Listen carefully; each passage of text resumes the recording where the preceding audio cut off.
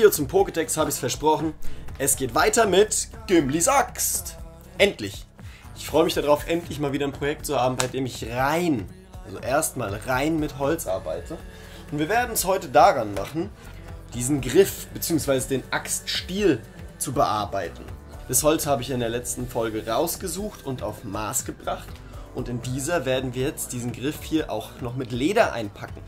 Dabei wird mir mein lieber Bruder der Tom helfen, weil der sich mit Leder gut auskennt und wir gemeinsam schon einmal dieses Teststück hier gemacht haben.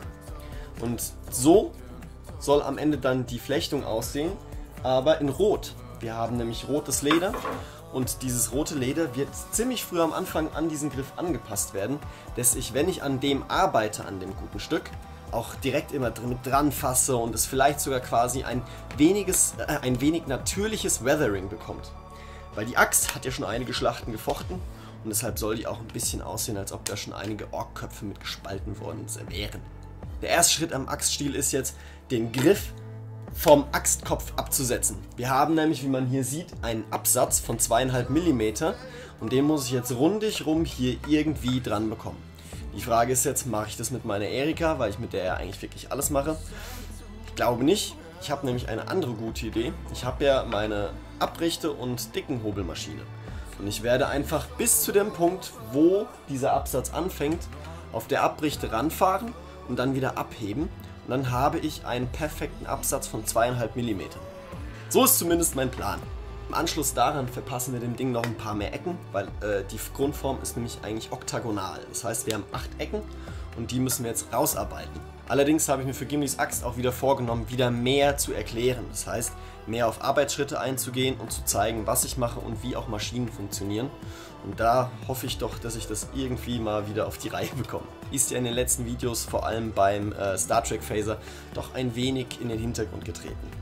Lasset uns loslegen!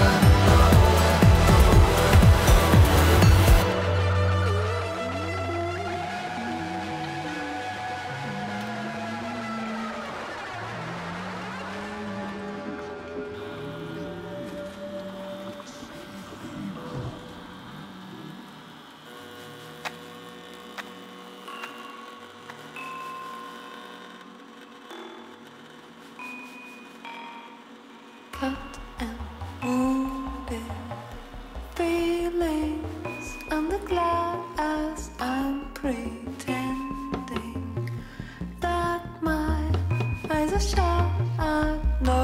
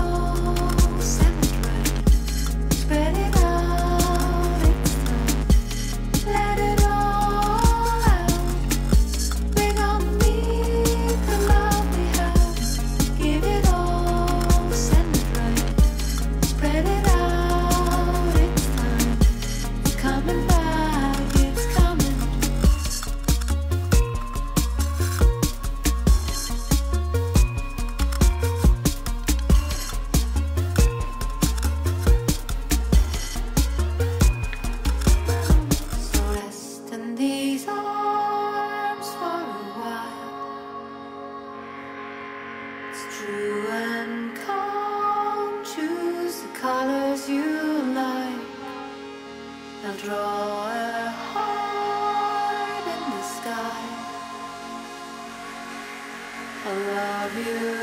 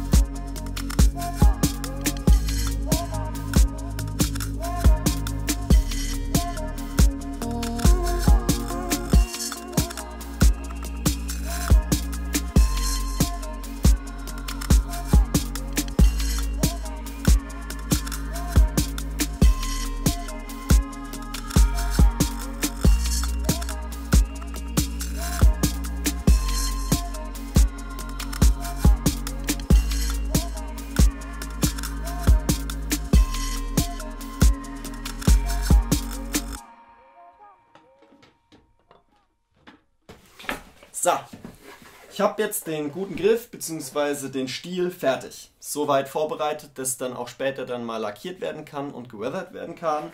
Hier oben das Kopfstück wird nämlich bronzefarben und dann nochmal ein bisschen abgedunkelt zu einem Messing oder sowas. Der Griff ist auch vorbereitet, genauso wie oben das Stück hier. Dort, wo das Leder anfängt und aufhört, ist jeweils nochmal ein Stück eingelassen, dass das Leder am Ende dann nicht drüber schaut übers Holz, sondern da bündig mit dem Holz abschließt und ich noch diese Messinghülse außen rumsetzen kann. Beim Leder hilft mir wie angekündigt mein Bruder Tom. Tom hat drüben bei sich im Keller das Leder zugeschnitten. Wir brauchen insgesamt 12 Streifen von 7 mm. Ich habe nämlich eine Griffstärke von 2,5 auf 2,5 ähm, mit einer Kante von, äh, also mit einer Phase von 7 mm, weil ich dann nämlich 7, 7 und nochmal 7 habe. Und äh, es muss alles gleich sein, dass diese Webstruktur bzw. diese Flechtstruktur gleich aussieht.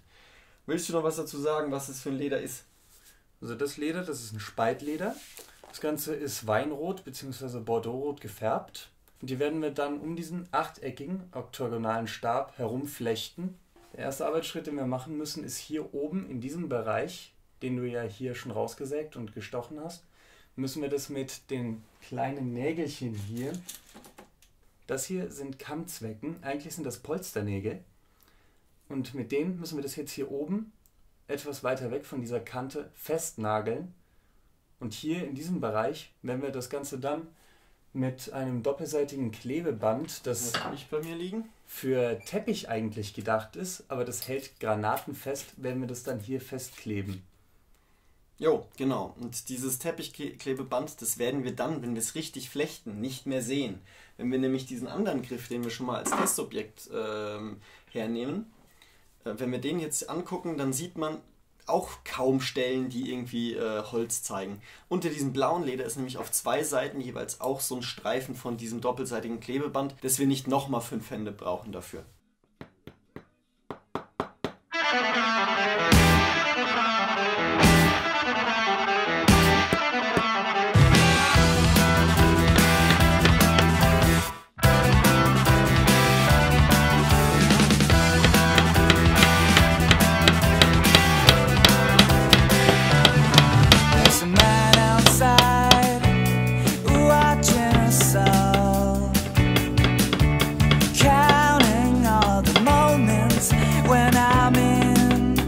true.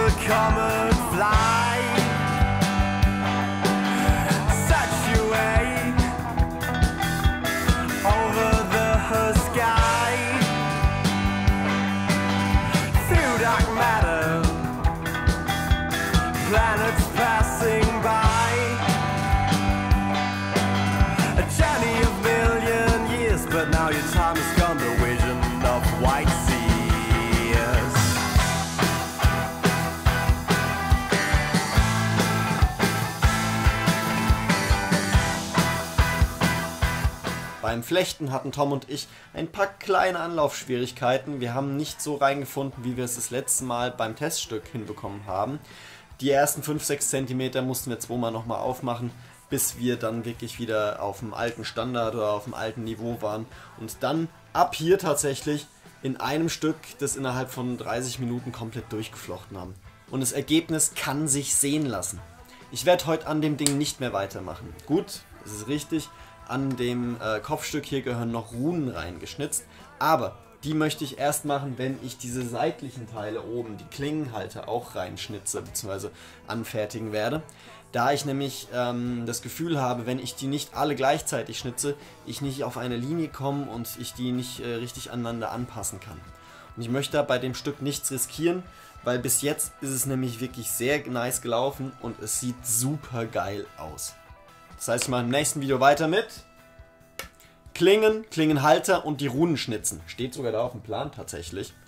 Und ich hoffe, dass ich vielleicht auch schon einmal grundieren kann, um ähm, dann äh, lackieren und weathern zu können. Was ich vielleicht auch noch machen möchte, aber vielleicht fließt es auch ins letzte Video, hier diese Messingteile, die hier oben außen rum sitzen sollen, beziehungsweise werden MDF-Teile ziemlich sicher, die ich dann in Bronze und Messing irgendwie lackieren werde. Das wird auch Kleinfickerarbeit, das sage ich euch jetzt schon. Ich hoffe, euch hat es gefallen. Ich habe an diesem Projekt so viel Spaß. Ich sitze hier einfach im Keller, krieg überhaupt nichts mit, wie viel Uhr wir haben, was passiert ist. Und ich hatte mal wieder ein Projekt, bei dem ich mit Tom arbeiten konnte und da habe ich echt Spaß dran. Es war früher anders.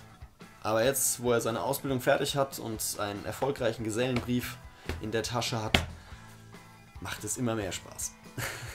Abseits dessen ist es mein Bruder, den muss ich gern haben. Ähm, außerdem kennt der gute Mann sich beim Leder aus, wo ich relativ wenig Ahnung habe. Ich hoffe für euch, dass ihr auch so tolle Geschwister habt und wünsche euch eine schöne Woche. Wir sehen uns in der nächsten wieder. Bis dahin, haltet die Ohren steif und tschüss.